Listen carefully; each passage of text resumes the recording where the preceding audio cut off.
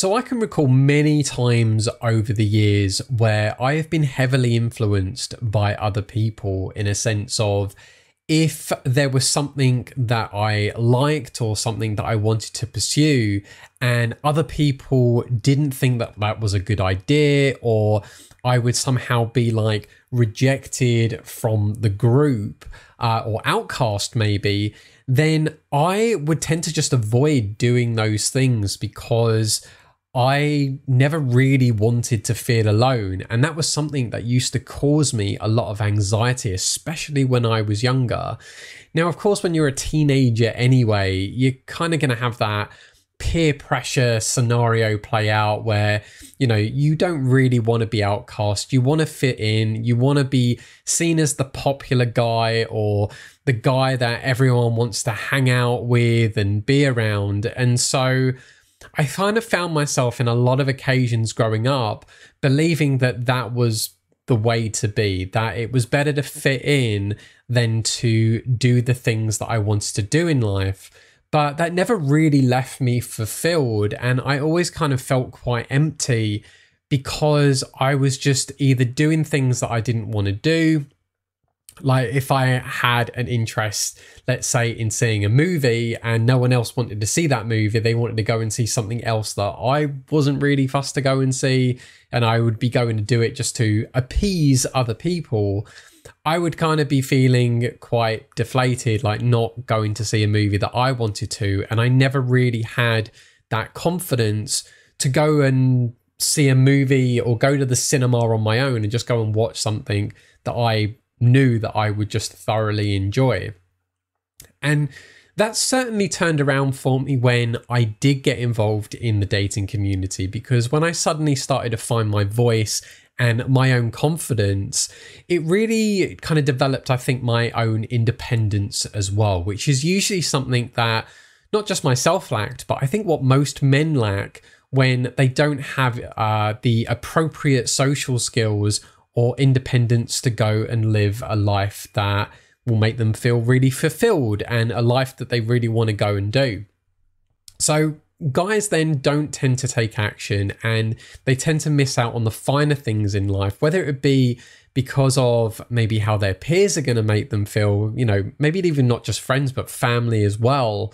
But I think they also train themselves and they can be their own worst enemy and put themselves down and into believing that no, they shouldn't pursue something that they want or that they desire. Now, some of the some of the best guys that I know in the dating industry, they get the most amazing results with women simply because they've learned to overcome this particular issue. And one of those reasons why they've done it is because they no longer essentially conform to this social ladder and they try and live life on like a day by day basis just solely based around doing the things that they want to do. And whether or not they've got that anxiety or fear to taking action towards it they try and do that anyway. And that's what they tend to focus on, which in a way is really just what self improvement is about. It's about facing your fears, taking action, and moving forward with your life and developing your confidence to a point that you can be more happy and fulfilled with doing the things that you want to do. But when you can step away from this conformity of this social ladder to you know, if people want you to stay as you are and you agree to that, then you'll never really be happy. I think it's when you start realizing that actually, if you do the things that you want to do, yes, you might repel some people, but you're also going to attract people who have those similarities to you and same interests as you do. And that's where you then really do find your tribe and you will be your most confident version. So, if you're feeling ashamed about going for things that you want, don't be. It's simply because you have been told by people, or even maybe you've just trained yourself to put yourself down, and you believe that by not going for something that you want, that is what is going to make people like you more. The reality is actually you are better to go on this hero's journey and work on your confidence, face your fears, or at the very least, do the things that you have an interest in. So, like, I'm quite geeky. I actually really enjoy going to Comic Con events. Now, there are people who are far geekier than me, and I don't dress up in the cosplay stuff, but I like it. I love it. And I love when I go there and I get to speak to people who have very similar interests in the TV shows, the PlayStation games as me, or movies and whatnot. And we've got something that we can connect on. And it's amazing how even on like the dating side of things, and I've met people through these dating, uh, not dating events, through these Comic Con events, and it's amazing just how many relationships can be formed by meeting people who have those same similarities or interests to you. And again, that comes from you doing the things that you want to do, not what other people want to do or not what people tell you you can't do and what you should do, but you're going to find your happiness and you're going to have the least root of anxiety when you do the things that you want to do. And you have to do the things that really make you happy.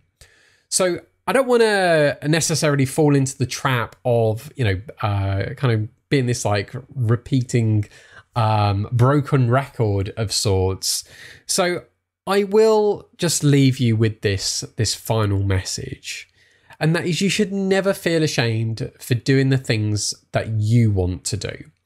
Now, if you are someone who doesn't have a dating life and you want a dating life, don't let anyone tell you otherwise what you can't have.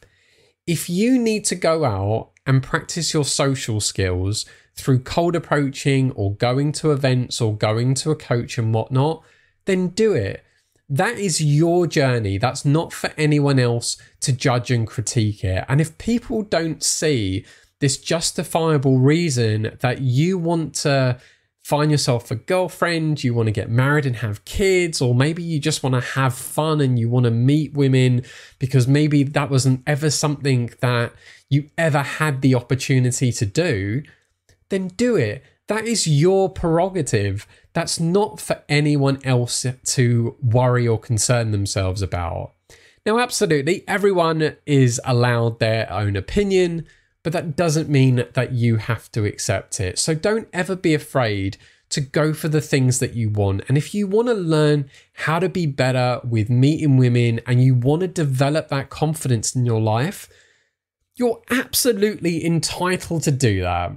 Don't let anyone tell you otherwise.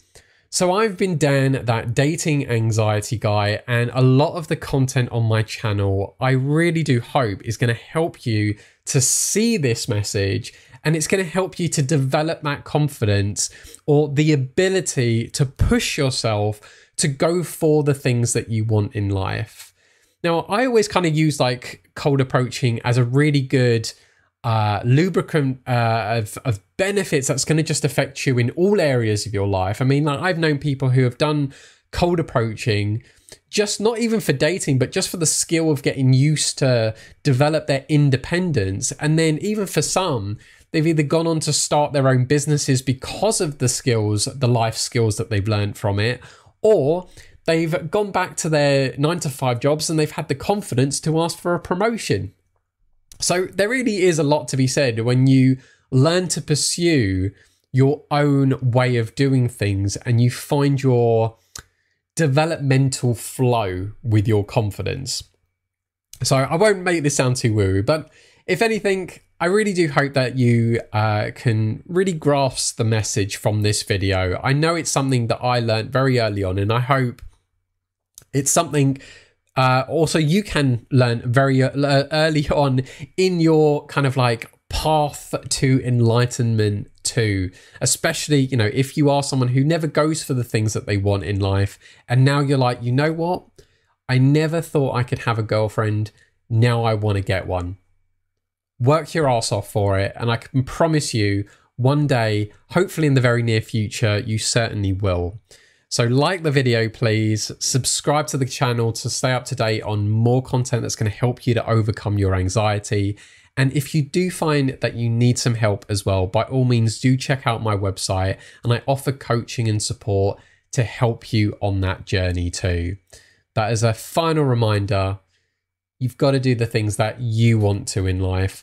Don't let other people put you down or turn you off of those things because you're not going to feel fulfilled otherwise.